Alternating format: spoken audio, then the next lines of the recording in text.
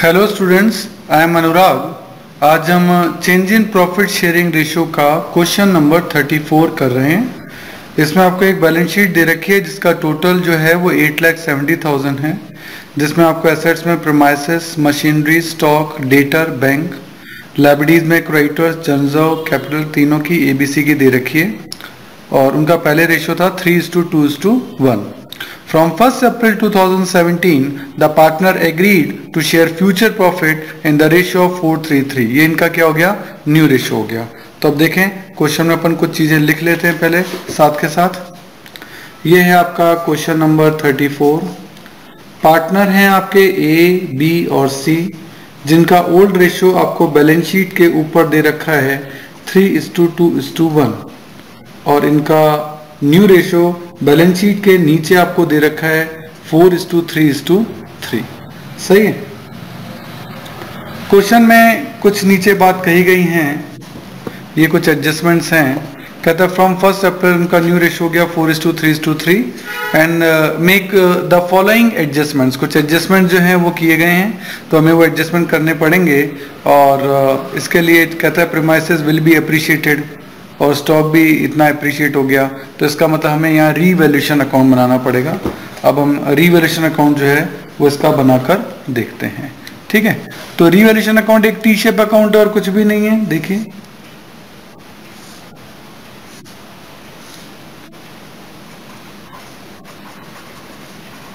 Revaluation account ठीक है?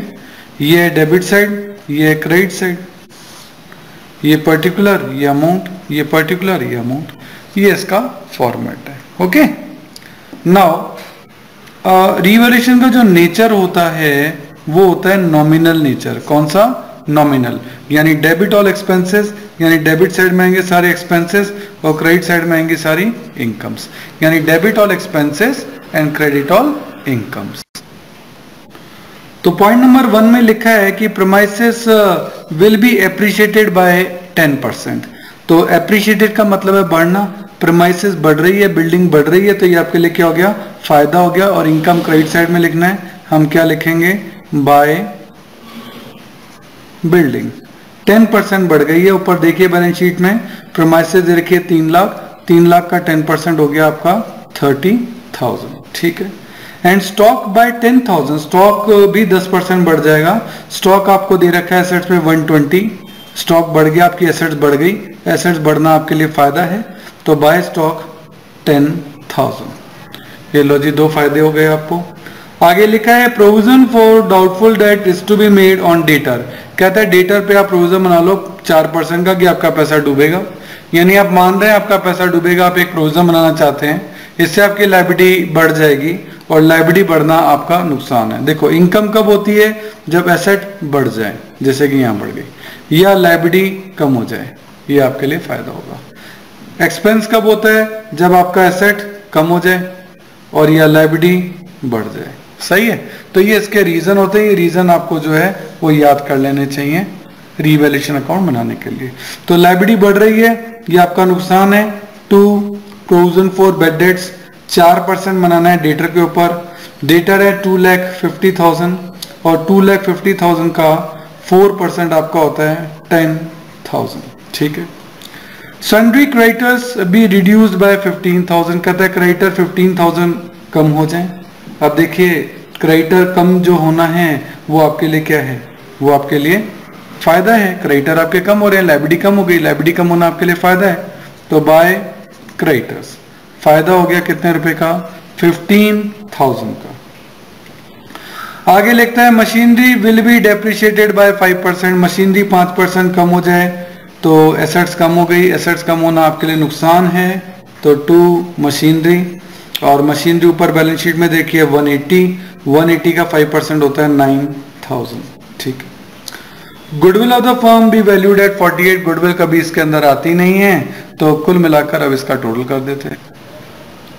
तो क्रेडिट साइड का पहले टोल करते हैं क्रेडिट साइड ज़्यादा है 30 प्लस 10 40 40 एंड 15 दैट इज़ 55,000 तो यहाँ का टोल भी कितना आना चाहिए? 55,000 हमें बैलेंसिंग करना है एक्चुअली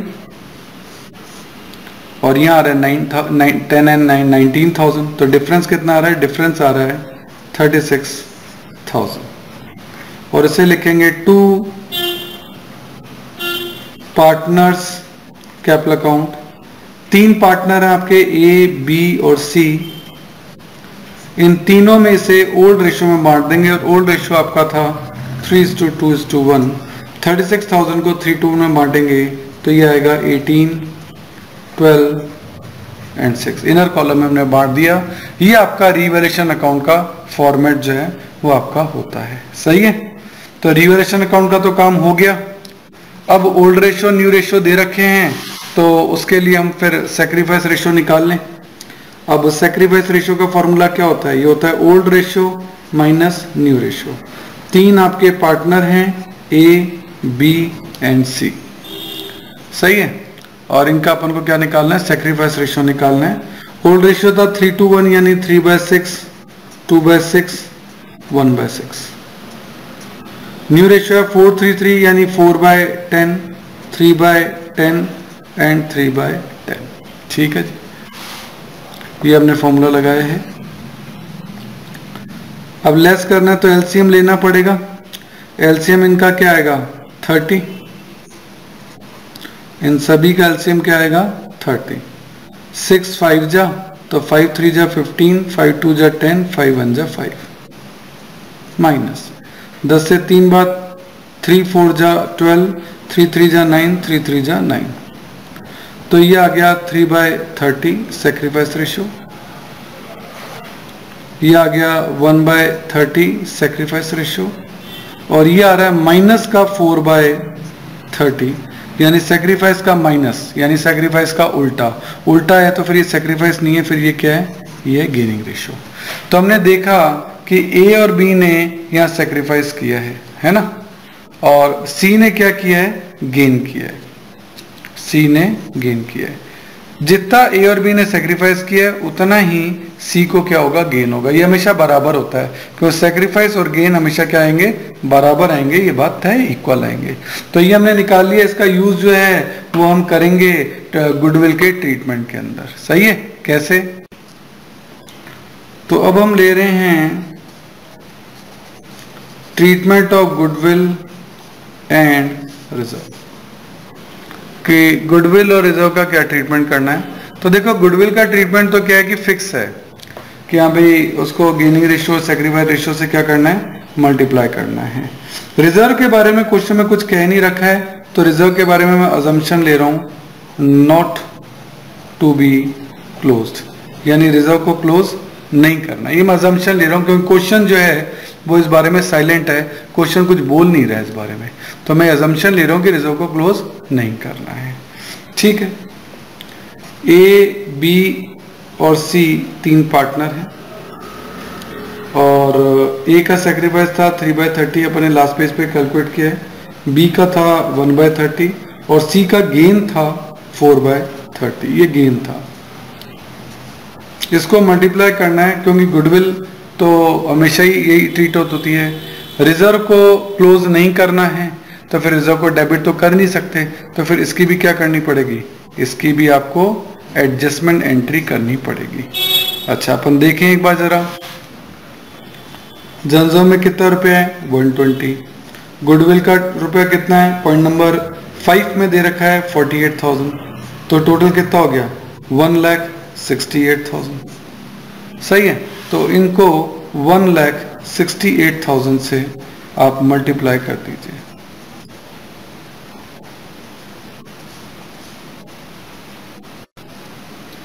तो हमने इस कैलकुलेशन को सॉल्व किया। तो ये आपका आंसर आया ये। सही है? ये गेनर गेन है। तो जो रूल है वो अपन ने सीखा था debit the gainer and credit the loser तो सी को डेबिट करना है। तो एंट्री बनेगी C's capital account debit twenty two four hundred to A और बी लूजर हैं. ए और बी लूजर हैं तो इनको क्रेडिट करना पड़ेगा सोलह आठ सौ और पाँच छः सौ से. तो to A's capital sixteen eight hundred and to B's capital five thousand six hundred अब दोनों इक्वल हो गए हैं। नरेशन लिख देंगे।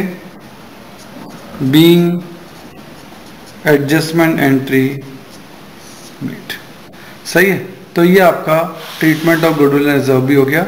रिज़र्व में अभी मैंने एजम्पन लिया not to be close question silent था। आप ये भी एजम्पन लेते हैं टू बी क्लोज उसका फिर ट्रीटमेंट अलग हो जाता। है खैर, मैंने अभी ये मान के किया है। देखते हैं आगे क्या होता है। तो देखिए नेक्स्ट स्टेप है इसका पार्टनर का कैपिटल अकाउंट अपन को बनाना है। ये अपन ने तीन तीन कॉलम दोनों तरफ़ बना लिए हैं। सबसे पहले पार्टनर कैपिटल में आता है बाय बैलेंस बीडी और कैपिटल के बैलेंस लाइबिलिटी साइड में दे रखे हैं। ए का है थ्री लैख बी का है वन लैख फिफ्टी थाउज़ेंड और सी का है वन लैख सही?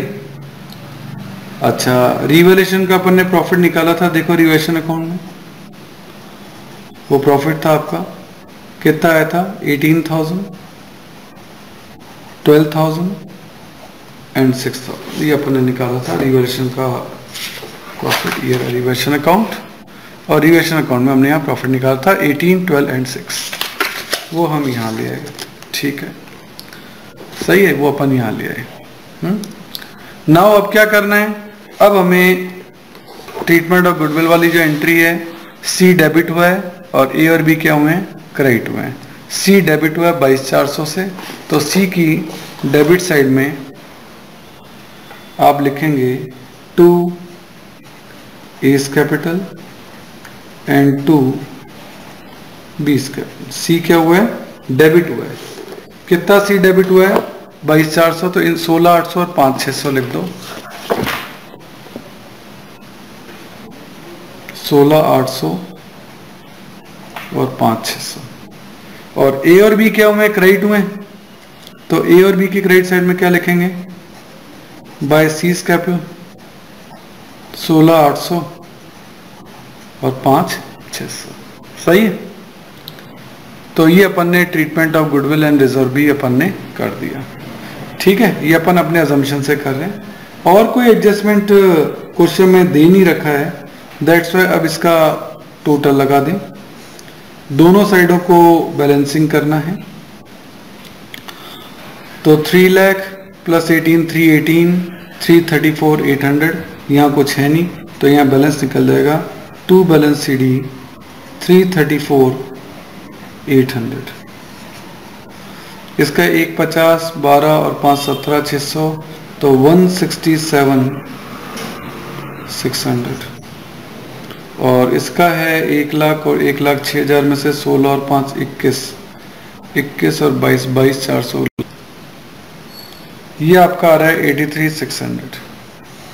आपके दिमाग में आएगा, सर, अपने जो आंसर है, वो बुक से अलग क्यों आ रहे हैं? रीजन ये कि हमने रिज़र्व को यहाँ डिस्ट्रीब्यूट नहीं किया, अपन ने एजम्पन दूसरा लिया है। आप चाहो तो ऑल्टरनेटिवली यहाँ रिज़र्व का डिस्ट्रीब्यूशन अगर कर लोगे तो आंसर बुक वाला भी आ जाएगा।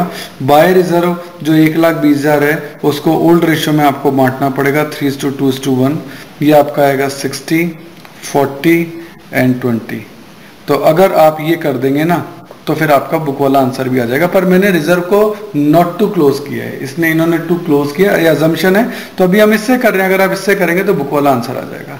सही है? तो ये भी सही आंसर है, कोई दिक्कत नहीं आप घबराएँ नहीं इस चीज़ के लिए। अब हम बैलेंस शीट बनाते हैं balance sheet of new firm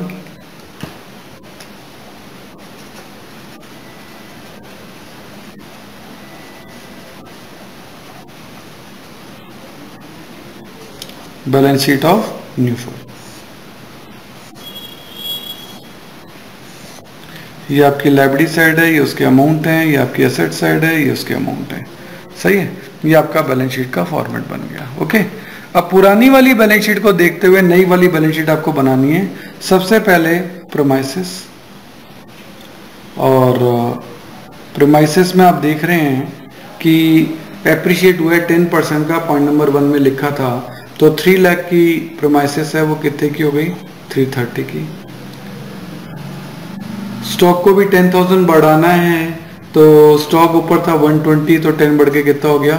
One thirty machinery one eighty की थी, और पॉइंट नंबर फोर में लिखा था फाइव परसेंट कम करना है तो वन एटी में से नाइन थाउज़ेंड लेस हो जाएगा तो कितना बचेगा? वन सेवेंटी वन डेटर आपके 250 थे। उसके अगेंस्ट आपने प्रोविज़न फॉर बेडर्स बना दिया था, कितने रुपए का? टेन थाउज़ेंड का। और बैंक में कोई चेंज हुआ नहीं है, वो तो एसेट्स है एज इट इज़ कितने रुपए? ट्वेंटी थाउज़ेंड लाइब्रेरीज में आते हैं, और रिवोल्यूशन में हमने लिखा था कि क्रेडिटर को पंद्रह हज़ार रुपये कम कर देना है। तो क्रेडिटर्स जो थे, दो लाख थे। पंद्रह हज़ार कम हो जाएँगे तो कितने हो जाएँगे? वन एटी फाइव जनजब को अपन ने डिस्ट्रीब्यूट नहीं किया है, क्लोज नहीं किया है तो जनजब में एज इट इज़ 120 आएँगे। और कैपिटल अब जो हमने कैपिटल अकाउंट बनाया है, उससे जो बैलेंस शीट निकले हैं, ये वाली कैपिटल आएगी, है ना? तो इनको लिखना अपन को, three lakh thirty four eight hundred. A के लिए three lakh thirty four thousand eight hundred. B के लिए one lakh sixty seven thousand six hundred और सी के लिए 83,600 और कोई एडजस्टमेंट बचा नहीं है। अब बैलेंस शीट की दोनों साइडों का टोटल कर देंगे और वो इक्वल आना चाहिए। वो बुक वाला नहीं बैठेगा क्योंकि बुक का जमशन अलग है लेकिन हमारा भी आंसर सही माना जाएगा। हम टोटल चेक कर लेते तो दोनों साइड का जब हम टोटल देखते हैं इसका टोल करके तो दोनों साइड का टोल बैठ रहा है नाइन लैख वन थाउज़ेंड क्योंकि बैलेंस शीट की दोनों साइड का टोटल इक्वल आ रहा है, इसका मतलब आपका आंसर जो है, वो सही है। ये क्या आ रहा है? इक्वल आ रहा है। आपका आंसर एकदम सही है। ठीक है? मैंने आपको बताया ऑल्टरनेटिवली यदि आप यहाँ इस treatment of goodwill and reserve में यह अजम्पन दूसरा ले लें तो आप यहाँ रिज़र्व का अमाउंट नहीं जोड़ेंगे तो इस एंट्री के अमाउंट चेंज हो जाएँगे। एंट्री तो यही होगी C to A to B entry का अमाउंट चेंज हो जाएँगे, जिससे ये फिगर चेंज हो जाएगा। हाँ हम रिज़र्व को यहाँ डिस्ट्रीब्यूट कर देंगे। तो फिर आपका बुक वाला आंसर भी आ जाएगा। बुक का आंसर जो दे रखा है बैलेंस शीट का eight lakh ninety one thousand दे रखा है है ना? और अगर रिज़र्व को बांट देंगे तो ये आंसर कितना आ जाएगा? नाइन लैख वन थाउज़ेंड आ जाएगा। ओके बाकी इस टाइप के क्वेश्चन सेम नंबर का आप एग्ज़ाम्पल करेंगे तो अच्छी प्रैक्टिस हो जाएगी। Okay thank you